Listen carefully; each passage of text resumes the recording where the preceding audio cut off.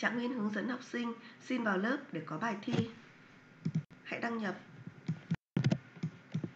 Mã captcha chính là 6 số màu cam này.